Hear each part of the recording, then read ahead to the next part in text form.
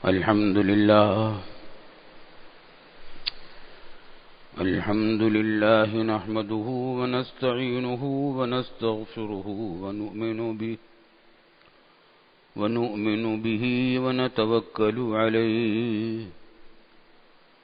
ونعوذ بالله من شرور أنفسنا ومن سيئات أعمالنا. من يهده الله فلا مضل له ومن يضلله فلا هادي له. ونشهد أن لا إله إلا الله وحده لا شريك له. ونشهد أن سيدنا وسندنا ومولانا محمدا عبده ورسوله. صلى الله تعالى عليه وعلى آله وصحبه وعلى آله وصحبه أجمعين وسلم تسليما كثيرا كثيرا أما بعد فأعوذ بالله من الشيطان الرجيم. بسم الله الرحمن الرحيم. يا أيها الذين آمنوا اتقوا الله حق تقاته ولا تموتن إلا وأنتم مسلمون. واعتصموا بحبل الله جميعا ولا تفرقوا. واذكروا نعمة الله عليكم إذ كنتم أعداء إذ كنتم أعداء فألف بين قلوبكم فأصبحتم بنعمته إخوانا. بزرگان محترم اور برادران عزیز، اللہ رب العالمین کا بڑا فضل و کرم ہے کہ اس نے پھر مجھے اس قابل کر دیا ہے۔ کہ آپ سے خطاب کر رہا ہوں۔ پچھلے کئی جمعوں میں علالت کی وجہ سے حاضر نہیں ہو سکا۔ بس یہ ہے انسان کی حقیقت۔ ایک بال کی برابر جسم کے اندر کوئی چیز ادھر سے ادھر ہو جائے تو ساری سارے تخمینے اور سارے عزائم اور ساری ہمتیں اور سارے حوصلے اور سارے دعوے دھرے رہ جاتے ہیں۔ اللہ تعالیٰ دکھاتے رہتے ہیں کہ تم کچھ نہیں ہو۔ جو کچھ ہمارا جو کچھ کرتے ہو، ہماری توفیق سے کرتے ہو۔ ہم تمہارے جسم کا ذرہ برابر ایک تھوڑا سا ادھر سے ادھر کر دیں، تم کچھ بھی نہیں کر سکتے کسی کام کے نہیں رہتے۔ یہ بیماریاں اگر نہ ہوتی تو لوگ اللہ کو بھول ہی جاتے۔ بیماریاں، پریشانیاں آتی ہیں مومنوں پر اس واسطے آتی ہیں کہ اپنے گناہوں سے توبہ اور استغفار بھی کریں اور اللہ کی نعمتوں کو یاد کریں۔ اللہ کی نعمتوں کو یاد کریں کیسی کیسی نعمتیں ہیں۔ مجھے یاد ہے، چالیس سال پہلے سے مجھے کمر کی تکلیف ہے۔ الحمدللہ اب تو بہت کم ہو گئی ہے، لیکن شروع میں دس سال تک تک بہت زیادہ شدت کے ساتھ رہی۔ نہ ریل میں سفر کر سکتا تھا، نہ بس میں سفر کر سکتا تھا، اونچے نیچے راستوں پر نہیں چل سکتا تھا۔ کبھی تکلیف اتنی سخت ہوتی تھی کہ تخت پر بس لیٹا رہتا تھا، بیٹھ نہیں سکتا تھا۔ اس کے بعد سے الحمدللہ تکلیف رفتہ ہوتی، رفتہ رفتہ ختم ہوتی چلی گئی۔ لیکن اب بھی وہ تکلیف مرض باقی ہے۔ بہت احتیاطیں رکھنی پڑتی ہیں۔ جھکنا بڑا مشکل کام ہے۔ زمین سے جھک کر کوئی چیز اٹھانا۔ تو میں سوچتا ہوں کہ جب یہ بیماری نہیں تھی تو ہمیں کبھی خیال بھی نہیں آتا تھا کہ یہ نعمت اللہ نے ہمیں دے رکھی ہے۔ ریڑھ کی ہڈی میں اتنی لچک دے رکھی ہے کہ چاہے یوں جھک جاؤ، چاہے زمین اٹھا لو۔ اور اب یہ جھکنا ایک بڑا مسئلہ ہے۔ تو انسان کو اپنے دی اللہ کی نعمتیں یاد نہیں رہتی، دھیان نہیں ہوتا۔ اور کوئی تکلیف آ جاتی ہے تو اس کا رونا روتا رہتا ہے آدمی۔ یوں ہو گیا، یوں ہو گیا، یوں ہو گیا۔ یہ نہیں دیکھتا کہ کیا کیا نہیں ہوا۔ ایک ڈاکٹر صاحب تھے، والد صاحب رحمۃ اللہ علیہ کے معالج تھے، بڑے سمجھدار چال ڈاکٹر تھے۔ فرماتے تھے کہ جب ہم ہم علاج کرتے ہیں، سرجری بھی کرتے ہیں، ہم تو ہر وقت دیکھتے رہتے ہیں کہ انسان کا جسم کتنا پیچیدہ ہے اور کتنے نازک اس کے تمام چیزیں ہیں۔ کہتے ہیں، مجھے جب کوئی بیمار پڑ کر وہ زندہ بچ جاتا ہے، مجھے تعجب ہوتا ہے کہ کیوں بچ گیا۔ مرنے پر تعجب نہیں ہوتا۔ کیونکہ مرنے کے تو اسباب بے شمار ہیں جسم کے اندر۔ لا تعداد ہیں۔ زندہ رہنے کے اسباب نایاب ہیں۔ تو اللہ تعالیٰ کا انعام و کرم ہے۔ بیماری اگر اللہ تعالیٰ دے اور اس پر صبر کی بھی توفیق دے اور جو نعمتیں دے رکھی اللہ تعالیٰ نے، ان کو بھی یاد کرتا رہے۔ تو انشاءاللہ بیماری بھی انشاءاللہ مومن کے لیے نفع بخش ہوتی ہے۔ اللہ تعالی ہم سب کے لیے ایسا ہی کرے۔ جو حالات ہمارے ملک کے ہیں، ہمارے شہر کے ہیں، ہمارے شہروں کے ہیں، آپ دیکھ رہے ہیں کیسے حالات ہیں۔ راول پنڈی کا دردناک المناک شرمناک سانحہ ہوا۔ جس نے پورے ملک کو ہلا ڈالا ہے۔ ایک تقریباً پوری مارکیٹ جلا دی گئی۔ مسجد اور مدرسہ بالکل ملیا میٹ کر دیا گیا جلا کر۔ اور کتنے انسانوں کو شہید کر ڈالا گیا۔ مارکیٹ والے چھوٹے چھوٹے دکاندار بھی تھے، بڑے دکاندار بھی تھے۔ بالکل ہاتھ ملتے رہ گئے، اب ان کا کچھ نہیں باقی بچا۔ اب ان کے لیے کھانے تک کے پیسے نہیں باقی باقی بچے۔ یہ ایک مصیبت آئی ہے اور بلا شبہ ایک ہم مسلمان ہیں۔ حدیث میں آتا ہے کہ تمام مسلمان ایک جسم کی طرح ہیں۔ تو جسم کے کسی حصے میں کوئی تکلیف ہوتی ہے تو پورا جسم بے چین ہو جاتا ہے۔ آج ہم بھی بے چین ہیں، بے تاب ہیں، پریشان ہیں۔ تعزیت کے لیے وفد بھی جا رہے ہیں، بیانات بھی ہو رہے ہیں۔ حکومت سے مطالبے بھی ہو رہے ہیں، تجویزیں بھی ہو رہی ہیں، احتجاج بھی ہو رہے ہیں۔ لیکن جو غم آ گیا اور جو مصیبت آ گئی، وہ تو آ گئی ہے۔ لیکن مسلمان کا کام یہ ہے کہ جب کوئی بھی مصیبت آئے، تو اللہ تعالی کی طرف رجوع کرے۔ کوئی مصیبت خود نہیں آتی یہاں۔ آتی ہے، اس بات چونکانے کے لیے آتی ہے۔ کہ تم اپنی ان آزمائشوں میں ثابت قدم رہو۔ بعد اوقات مسلمانوں پر اللہ والوں پر آزمائشیں آتی ہیں، تکلیفیں آتی ہیں، مصیبتیں آتی ہیں، دشمن ان کے اوپر مظالم کرتے ہیں۔ تو بھی ایک آزمائش ہوتی ہے کہ ان مظالم کو کس طریقے سے برداشت کریں اس کا کیا رد عمل کس طرح ہو۔ آج کراچی میں بھی یوم احتجاج منایا جا رہا ہے اور بجا طور پر منایا جا رہا ہے۔ اس پر جتنا بھی اظہار افسوس کیا جائے، اظہار غم کیا جائے، بجا ہے۔ لیکن ساتھ ساتھ یہ بھی کہ اللہ تعالی کی یاد سے غافل نہ ہوں۔ اور یہ خوب سمجھ لیں کہ کچھ کوئی اس دنیا میں کچھ کام اللہ کی ارادے کے بغیر نہیں ہوتا۔ یہ آزمائش ہے ہمارے اوپر اس آزمائش کا تقاضا یہ ہے کہ کھوج لگائیں کہ یہ حرکت کس نے کی ہوگی؟ کون لوگ ہو سکتے ہیں کرنے والے؟ ہم نے تو جتنا غور کیا حالات کا، اس عرصے میں کئی دن گزر گئے ہیں، مسلسل رابطے ہیں لوگوں سے، وہاں کے حضرات سے، جو تفصیلات سنی ہیں۔ ان کا حاصل سوائے اس کے نہیں ہے کہ اس جلوس کے اندر جس نے، جس کے ایک حصے نے حملہ کیا۔ ایسے عناصر تھے جو نہ شیوں کے دوست ہیں، نہ سنیوں کے دوست ہیں۔ نہ پاکستان کے دوست ہیں، نہ اسلام کے دوست ہیں۔ یہ غیر ملکی ایجنٹ ہیں، غیر ملکی اعلی کار ہیں۔ جو اسلام کے بھی دشمن ہیں شیوں کے بھی دشمن ہیں، سنیوں کے بھی دشمن ہیں، اہل بیت کے بھی دشمن ہیں، صحابہ اکرام کے بھی دشمن ہیں، پاکستان کے بھی دشمن ہیں، مسلمانوں کے بھی دشمن ہیں۔ سازش ہے۔ غیر ملکی سازش ہے۔ اور یہ بات جو میں کہہ رہا ہوں، صرف اندازے سے نہیں کہہ رہا، بلکہ بہت سارے پچھلے تجربات ہمارے سامنے ہیں۔ پاکستان میں کتنی مرتبہ یہ فسادات ہوئے ہیں۔ ایک بات تو یہ ہوئی ہے کہ جب بھی کوئی پاکستان میں خیر کی صورت پیدا ہونے لگی ہے، کوئی دین کا راستہ نکلنے کا امکان پیدا ہوا ہے فوراً کوئی مس... فوراً کوئی نہ کوئی جھگڑا کھڑا ہو جاتا ہے۔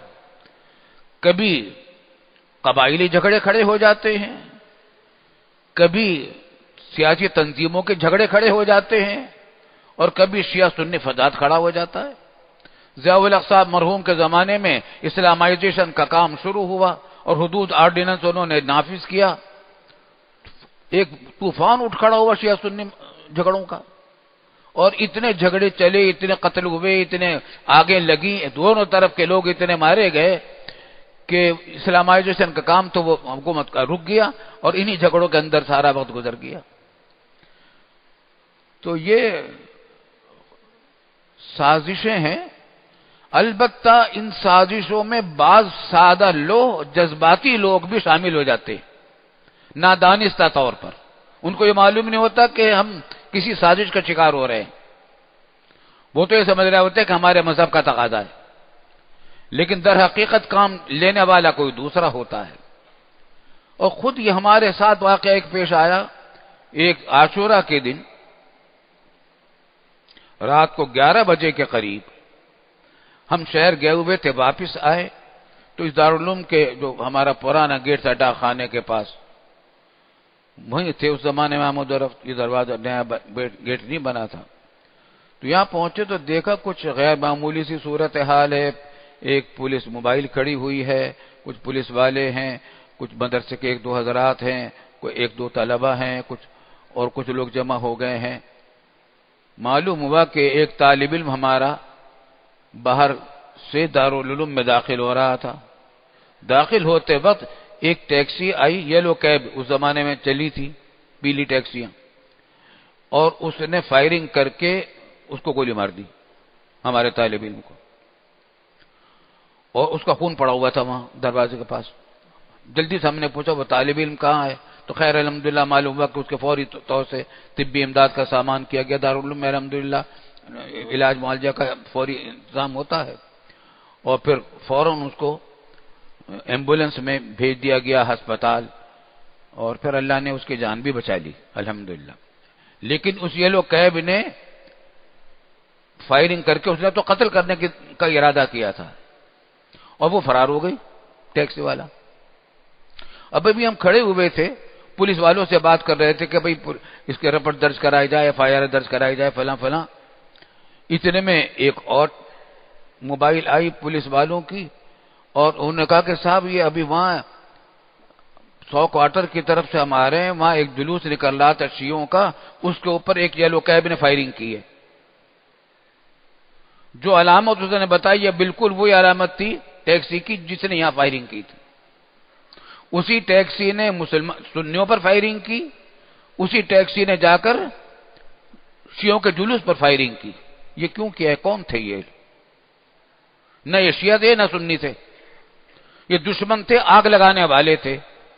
تاکہ لڑائی ہو جھگڑے ہوں، فسادات ہوں، اور مسلمانوں کا قتل عام ہو، اور مسلمان، اور پاکستان بدنام ہو، دین بدنام ہو، مسلمان بدنام ہو، اسلام بدنام ہو، پاکستان بدنام ہو۔ یہی ہو رہا ہے۔ اور یہ بالکل وہ کھیل کھیلا جا رہا ہے جو یہودی کھیلا کرتے تھے مدینہ طیبہ میں۔ اور جو میں نے قرآن شریف کی عادت پڑھی ہے، وہ اسی واقعات کے پس منظر میں آئی ہے کہ جب آ حضرت صلی اللہ علیہ وسلم ابھی ہجرت کر کے تشریف نہیں لائے تھے مدینہ طیبہ، تو وہاں اصل آبادی تو عربوں کی تھی مدینہ طیبہ میں، لیکن یہودی قبائل بھی آباد تھے، خود مدینے میں بھی تھے مدینے سے باہر خیبر تک بھی موجود تھے۔ تو دو مشہور قبیلے تھے عربوں کے اوس اور خزرج۔ تو ان کی آپس میں جنگیں ہوتی رہتی تھی وہاں قبائلی جنگیں تھا، وہاں کے قبائلوں کا قبائل میں جنگیں چلتی رہتی تھی ان جنگوں سے یہودی فائدہ اٹھاتے تھے۔ اور ان وہ اسلحہ فروخت کرتے تھے۔ زخمی اور بیمار ہو جائے تو ان کو قرضے دیتے تھے، ان پر سود لیتے تھے۔ تو ان کی چاندی ہو جاتی تھی جب اوس اور حضرت کے جھگڑے ہوتے تھے، ان کا کاروبار بڑھ جاتا تھا۔ ان کی سود سود کی آمدنی بھی بڑھ جاتی تھی، ان کے ہتھیار بھی بکتے تھے اور ان کے بارے کے نیارے ہو جاتے تھے۔ اچھا جب کبھی یہ ہوتا کہ امن و امان ہو گیا بیچ میں پڑھ کر، کچھ لوگوں نے دونوں قبیلوں کو جوڑ دیا، تو کچھ وہ یہ برداشت نہیں ہوتا تھا یہودیوں سے۔ تو وہ کیا کرتے تھے کہ اپنے کچھ آدمیوں کو لباس پہنایا خزرج کا، قدر قبیلے کے لوگوں کا۔ اور ان وہ انہوں نے رات کو جا کر حملہ کر دیا اوس والوں کے مکانات پر۔ تیر برسا دیے، مویشی بگا کر لے گئے، کچھ مار دیا۔ ادھر اچھا اور نکل کے پھر بھاگے وہ جا کر انہوں نے جا کر پناہ لی۔ اچھا پھر واپس چلے گئے۔ حضرت کی طرف۔ حضرت نے حملہ نہیں کیا تھا۔ جا کر واپس گئے حضرت کی طرف۔ اب اوس والوں نے کیا سمجھا کہ ہم پر حملہ حضرت کے قبیلے نے کیا تھا یہ۔ وہیں کے لوگ آئے تھے۔ لباس بھی انہیں کا تھا اور حملہ کرنے کے بعد واپس بھی ادھر ہی گئے۔ چنانچہ اوس نے حضرت پر حملہ کر دیا۔ اور پھر حضرت ان کے مقابلے پر آ گئے، پھر جنگ شروع ہو گئی۔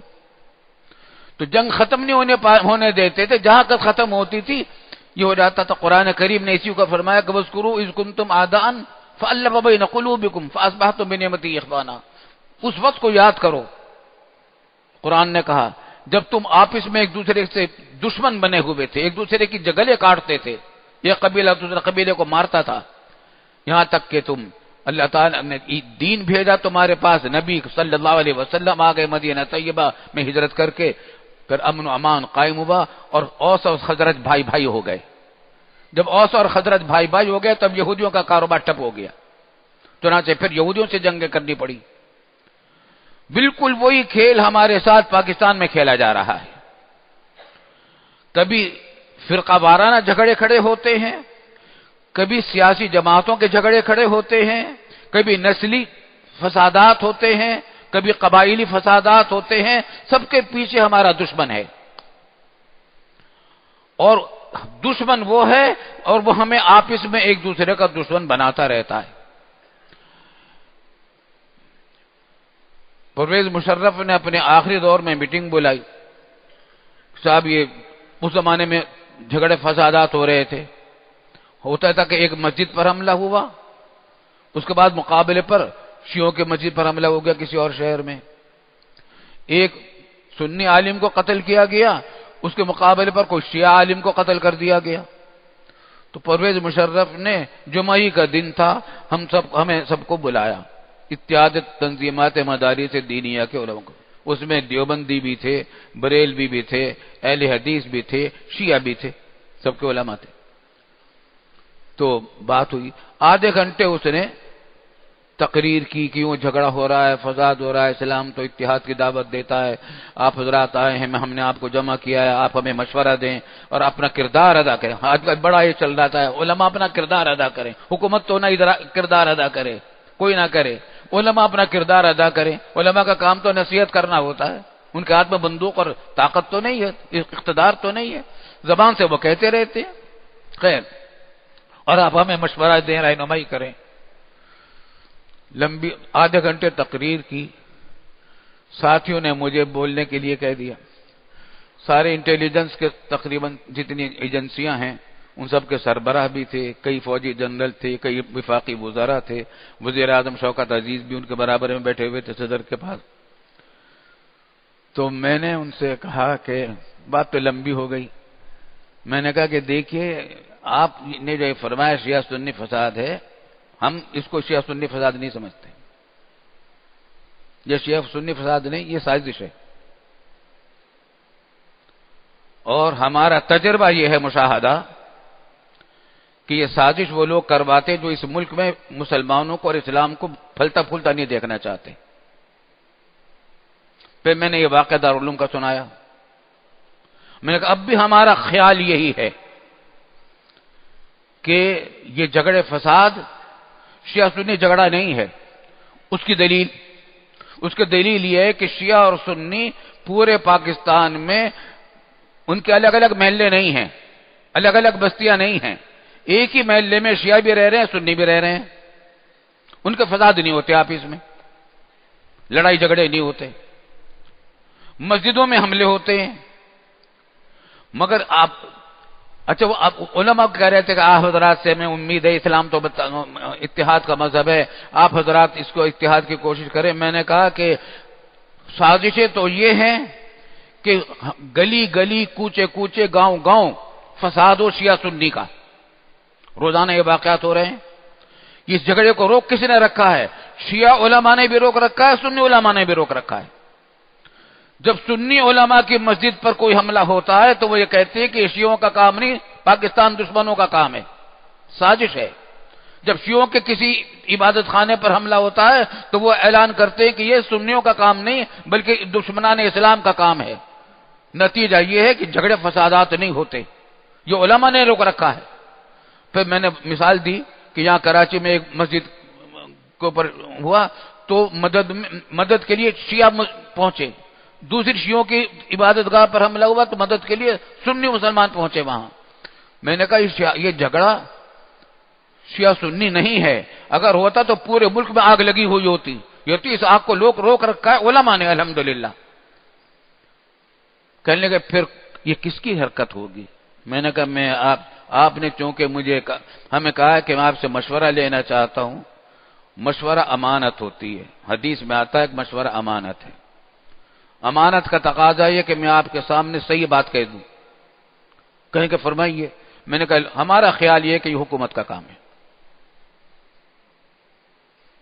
ہماری سرکاری انتظامیہ کا کام ہے۔ اور ان کا پیش نظر یہ کہ جتنے مولوی ملا مارے جائیں، قتل ہو جائیں اچھا ہے۔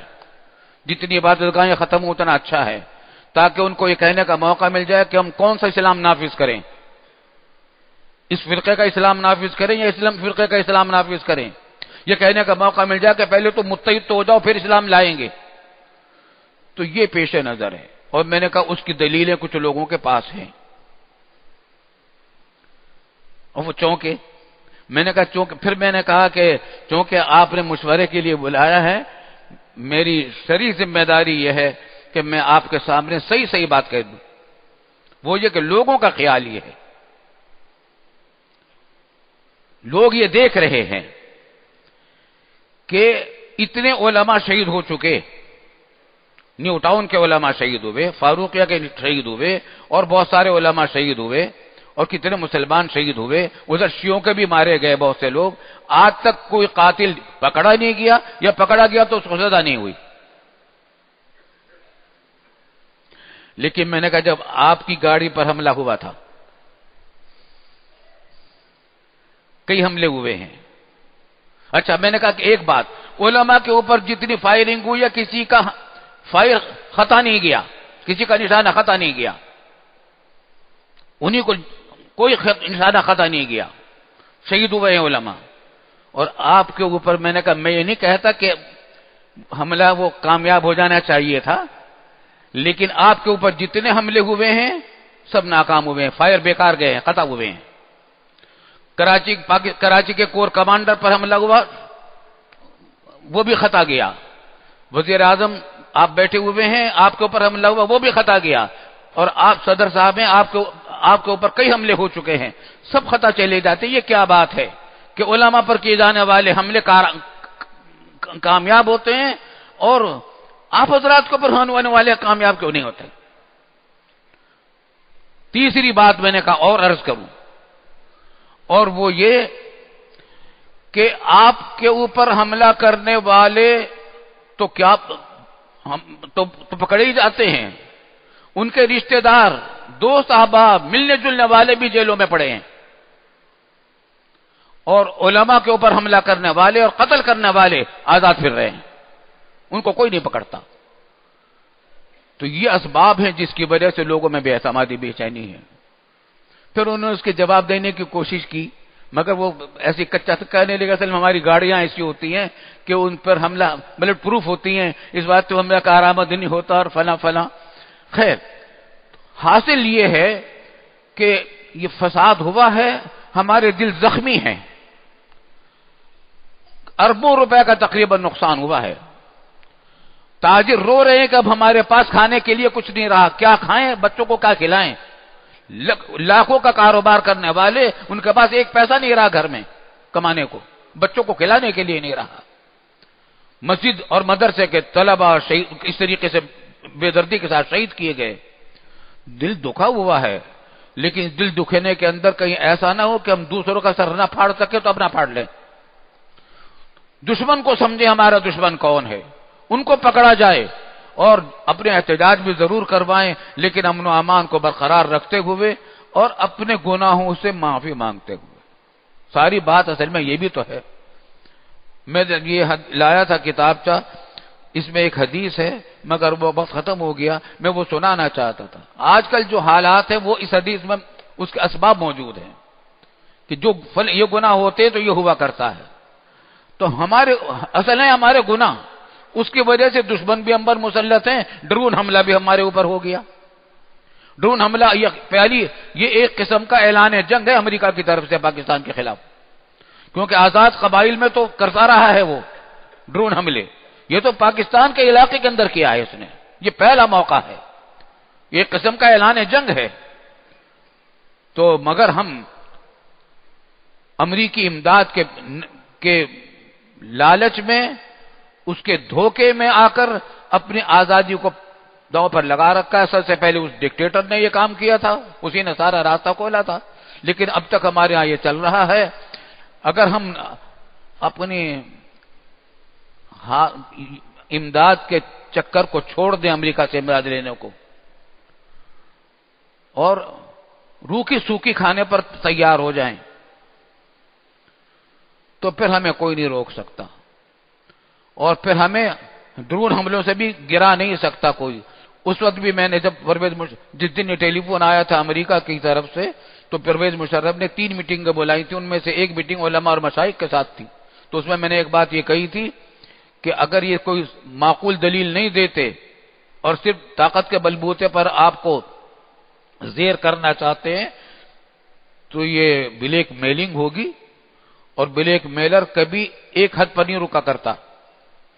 اگر آپ نے اس کے معاملے میں سرنڈر کر دیا، تو اپنی غلامی کے پروانے پر دستخط کرنے کا مترادف ہوگا یہ۔